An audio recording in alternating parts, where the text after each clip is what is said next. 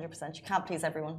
And uh, speaking of COVID 19, we'll move on to our next story where the CEO of Dubai Airports predicts that COVID 19 testing will soon become history.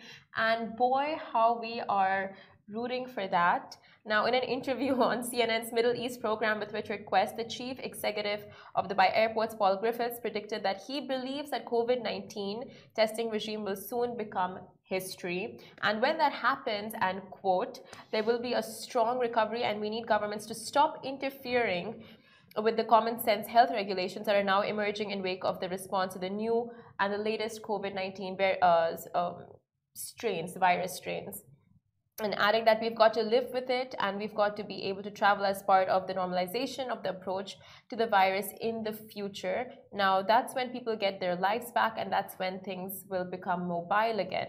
Now, just on another note, not another note, same note actually, just last week, airline industry body International Air Transport Association, IATA, said it was now time for the UK to remove testing requirements entirely for vaccinated people. Wow, it's big call. That is a big call, and I, but I strong personally, I feel very strongly, um, like I strongly support this because until and unless we kind of we're in the third year of the pandemic, right? So, and if we don't evolve with our um, restrictions, there is no way the uh, economy and just the economy can bounce back. It, the restrictions will just hold it. Yeah, it's, it's interesting with testing though, because um, for example, in the UAE in general, the testing structure and procedure has been so seamless. Yeah. So, and the only way to curb the spread we've looked at in the last, let's say, year or two is to, uh, for continuous testing, and therefore, if you find out you're positive, then you isolate, but everyone else can continue to live their normal lives, yeah. and you're saving the couple of people. So, um, we are so super lucky in the UAE that we have that seamless process, but they don't have that in other countries. So Very therefore, true. it might be easier to because if you are, for example, I know in Ireland people were testing and they weren't getting results for ten days or X number of days. I over exaggerated, but they weren't getting results for a number yeah. of days, and therefore, uh, have you been isolating that time?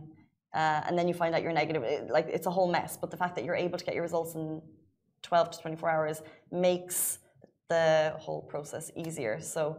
Um, do I want to go immediately back to normal? Yes. Uh, are we ready yet? I don't know.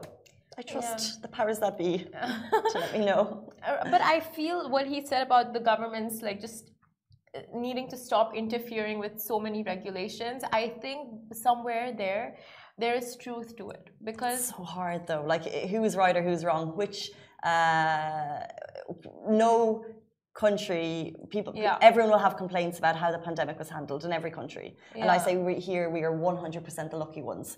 Um, but like in every other, like there's always complaints. So uh, which points do they stop meddling in? You know, yeah, and which true. points over the last year yeah, I, I, think it's I think it's very very tricky to. Call. I think just an overall um, oversee of the hygiene levels and everything is just you know like people are wearing gloves, masks, like introduce those extra precautionary measures in that sense.